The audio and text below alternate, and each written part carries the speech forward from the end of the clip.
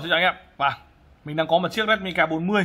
Đó Redmi K40 thì à, mình đã làm một clip mà mở hộp nhanh cũng như là hướng dẫn à, anh em cách cài Google và cũng như là xin quyền unlock để, sau này chúng ta có thể chạy được tiếng Việt đấy thì uh, cũng tầm khoảng một tuần. Thì mình làm tầm khoảng thứ ba tuần trước ấy. Thì đó là một chiếc máy màu trắng và ngày hôm qua thì đã có tiếng Việt để chạy rồi. Và hôm nay thì mình có mượn được một bạn khách hàng một chiếc máy màu đen để mình chạy. Thì bên mình thực sự là đang hết máy mất rồi. Về bao nhiêu thì mình bán hết từng đấy uh, ngày mai kia lại về tiếp và đã có rất là nhiều khách hàng đặt mất rồi. Đó thế nên là hiện tại hàng nó rất hot nhá bởi vì là những sản phẩm K40 này cấu hình rất là cao và giá thành vô cùng hấp dẫn luôn. Đó thì uh, may quá mình mượn được chiếc máy này thì uh, ngày nay thì mình sẽ làm một clip hướng dẫn anh em cách chạy tiếng Việt cũng là chạy ROM quốc tế của nó luôn bởi vì là mới có ROM quốc tế trong ngày hôm qua thôi. Đó là bản quốc tế của thị trường châu Âu. Đó và bây giờ thì mình sẽ hướng dẫn anh em cách chạy tiếng Việt cho sản phẩm này nhé thì chạy tiếng Việt cho chiếc Xiaomi Redmi K40 này nó cũng sẽ tương tự như chiếc Xiaomi khác nó không khác nào đâu, nhưng mình vẫn muốn làm lại clip để cho anh em xem. Bởi vì nhờ anh em xem thì lại vẫn thắc mắc của mình nhiều, thì hôm nay mình làm lại lần nữa cho kỹ nha. Thì việc đầu tiên để xác nhận là chiếc máy của chúng ta có tiếng việt hay chưa ấy, thì anh em vào website này cho mình. Thì cái website này thì mình tin tưởng, rất là tin tưởng website này. Có website khác thì mình cũng không biết. Rồi website là mifirm nhá mifirm.net đó, cái website này thì mình đã từng nói đến ở trong một số clip vào năm ngoái, mình đã làm clip hướng dẫn chạy cái con nốt 7 đấy. Thì anh em vào cho mình là mifirm.net nha. Đấy, bây giờ thì cái giao diện nó sẽ thay đổi hơi khác một chút rồi chứ không còn giống như năm ngoái nữa. Thì anh em vào đây anh em ấn cho mình chữ K40 này. Đó để xem là liệu là máy của chúng ta có tiếng Việt hay chưa.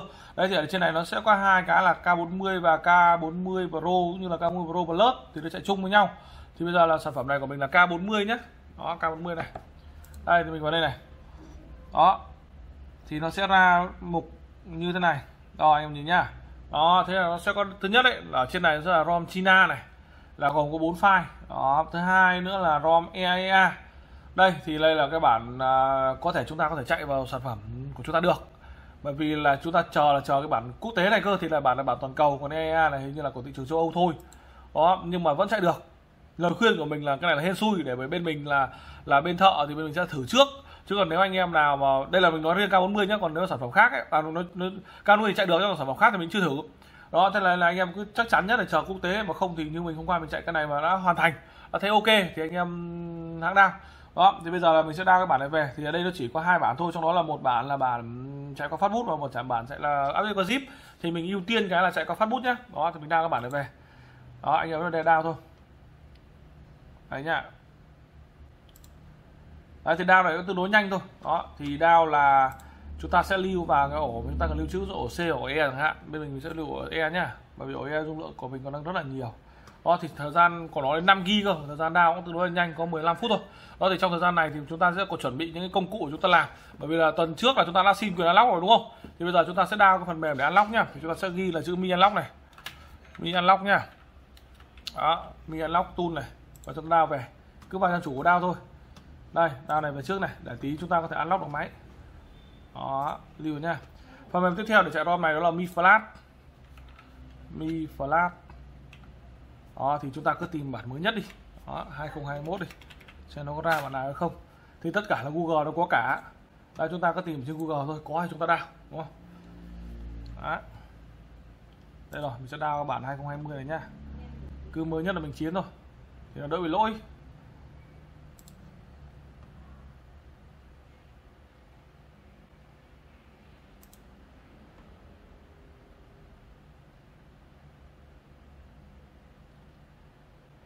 Đó cùng chờ đợi nhá.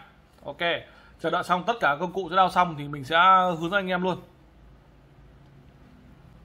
Ok sau khi chờ đợi thì à, nó đao xong. Nó đao xong ở cái file rom nó nặng nhất nó hơn 4 g file à, nén cơ.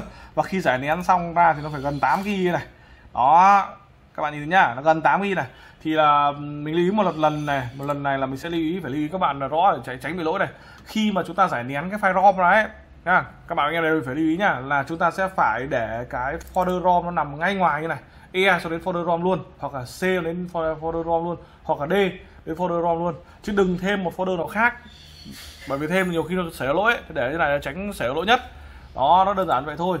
Đó, còn các công cụ thì mình đã đa sau mình giải nén. Đây thì gồm có cái là mi flash lock và một cái là mi flash à, bản mới nhất để chúng ta có thể flash rom được. Thì cái unlock này để unlock bootloader bởi vì khi chúng ta muốn unlock muốn muốn chạy được rom quốc tế và những sản phẩm nội địa Trung Quốc này, thì chúng ta bắt buộc phải là unlock bootloader mà lần trước tuần trước mình đã hướng dẫn anh em cách xin quyền unlock ấy. Bởi vì nếu không xin unlock thì chúng ta sẽ không chạy được file rom quốc tế vào. Chúng ta chạy vào được nhưng nó sẽ bị treo. Đó thế nên là bây giờ là bước đầu tiên là chúng ta sẽ unlock trước thì uh, đầu tiên là chúng ta cần chuẩn bị nhá đó là mình đã chuẩn bị sẵn rồi. Đó là một điện thoại là tất nhiên là xin quyền lót rồi đúng không? Sau đó là một sợi cáp USB Type C này. Bởi vì sản phẩm này dùng Type C còn nếu anh em dùng máy đời cũ hơn thì chúng ta có thể sử dụng uh, uh, dây cáp khác. Nhưng mà phải sử dụng dây cáp xịn nhá muốn là gì gì phải dây cáp xịn.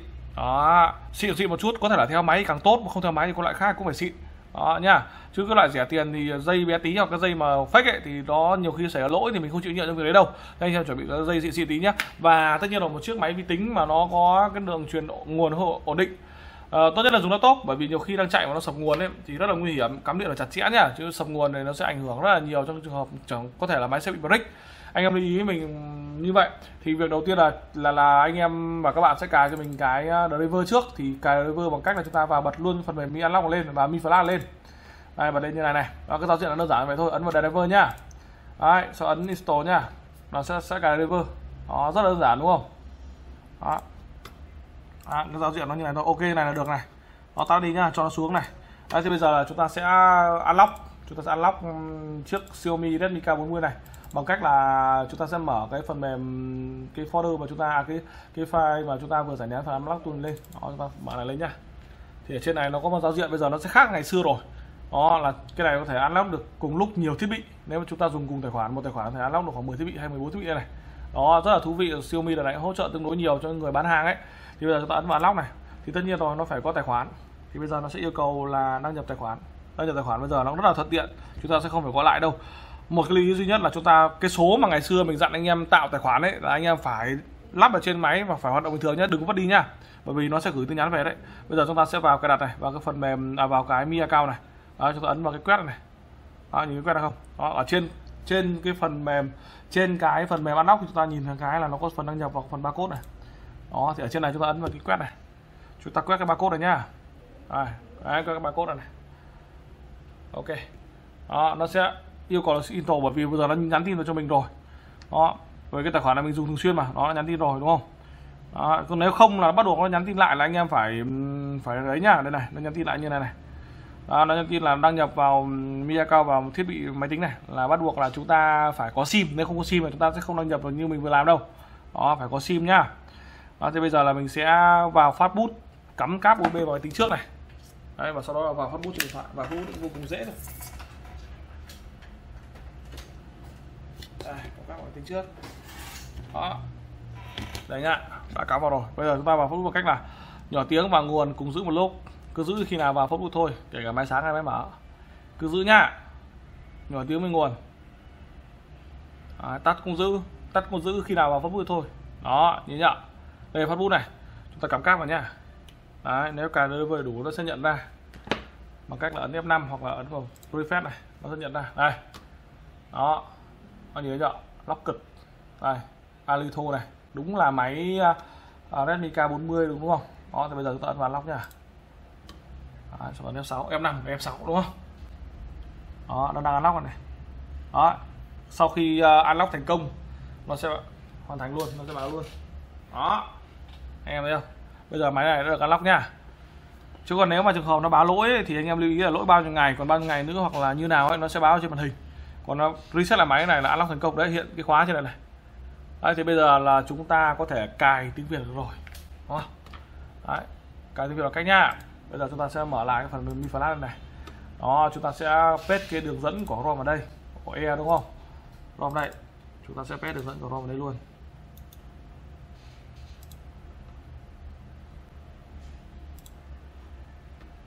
Chết quên đây là cái file rom à, Firebomb Trung Quốc ờ, Firebomb quốc tế để đây mà quên mất. Đó, để mình giải nén lại đã. Lại chờ mình chút nữa nhá. Ok nhá. Đây anh em này. Đó, lại giải nén xong. Bây giờ mình giải nén nhầm cái này. Đây là Firebomb Trung Quốc, để chẳng may bị lỗi, mình chạy lại. Đây file rom à, quốc tế đây. Nó có chữ EA global. Anh em lưu ý nhé là khi anh em chạy rom anh em nhìn kỹ lại cái đường tên một lần nữa nhá đó chữ CN cuối là ROM gốc Trung Quốc ấy. ROM quốc tế thì bao giờ cũng sẽ có chữ global này. Còn đây là ROM quốc tế của thị trường châu Âu EEA, EEA ấy, thì nó sẽ là tên trong gạch EEA trong gạch global. Đó giải nén khi giải nén ra như này này. Cái này nó còn nặng hơn cơ cái này lên đến tận gần 9 g cơ. Đắt nó còn cao hơn cái kia một g đó thì bây giờ là ở trên mi flash nha. Đó như này này thì chúng ta sẽ copy cái đường dẫn này vào này.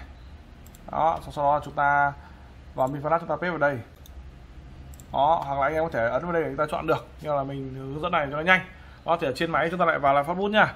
Khi chạy xong rom nó sẽ khởi động lại ấy, nó sẽ mất hết dữ liệu ấy. À lưu ý là khi mà chạy rom này là nó sẽ mất hết dữ liệu trong vòng một tuần vừa rồi anh em dùng ấy. Đó thì anh em lưu lại trước nha. Quên mất không bỏ anh em cái việc đấy. Đấy nha bây giờ chúng ta lại vào lại phát bút bằng cách ấn nhỏ tiếng với nguồn giữ cùng lúc này. Đấy một lúc sau chúng ta vào như này. Bây giờ vẫn cắm vào máy tính nhá chúng ta ấn vào phần refresh này. Đó, nhận là thiết bị không? Ok đây là nhận là thiết bị đấy nha, để ta ấn vào flash. À quên tí rồi quên ấn vào flash là nó lại lóc lại là à, lóc lại lần nữa chết dở quên cái này giận lại anh em này là chúng ta ấn vào clear on nhá cái này là nhiều anh em bị chạy và sai nhiều anh em cứ ấn vào flash luôn mình cố tình mình nói với anh em ấy để anh em biết là nhiều anh em cứ ấn vào refresh và flash luôn là khi anh em làm như vậy là nó sẽ bị lóc lại và nhiều khi đấy là máy sẽ bị treo thế nên là anh em nhớ nhá là anh em ấn refresh là sau đó anh em chọn là clear on nhá lưu dữ liệu ấn vào đây và Cleon unlock thì ấn vào đây Cleon unlock là mặc định và sẽ bị khóa máy lại ở trạng thái mà mất unlock và sẽ bị treo sẽ không chạy ra quốc tế. Mà trong trường hợp nhiều trường hợp đen đủ là nó sẽ bị ờ, anh em phải cứu cứu gọi là phải phải mua tài khoản để mà mà flash lại ROM Trung Quốc ấy. Đối với những chiếc máy mà nó bị khóa gọi là gì à? Mình quên mất là khóa cái gì khóa tài khoản gì ấy. Đó thì bây giờ là cái này là anh em ấn vào Cleon nhá Cleon sau đó ấn flash nhá. À, lại này reset này nhận thiết bị này ấn Cleon này rồi ấn flash này đó, ok. Đó, anh em nhìn nhá, bắt đầu chạy cái này. Bây giờ mà đứt cáp phát là máy bị treo nhá. Thế nên cái quá trình này là anh em phải cẩn thận. Tốt nhất là anh em nên đi chỗ khác và chờ. Thì cái thời gian mà chạy cái này nó sẽ dao động từ 10 cho đến 20 phút mới xong. Tùy tốc độ máy cũng như là tùy cái sợi cáp anh em đang dùng ấy. Là từ 10 đến 2 phút. Và một lưu ý quan trọng nữa là điện thoại của anh em khi chạy anh em để pin trên 20% cho mình ở nhà nhà sản xuất thì người ta khuyến cáo là trên 50% nhưng mà mình thì trên 20% mình cũng chạy.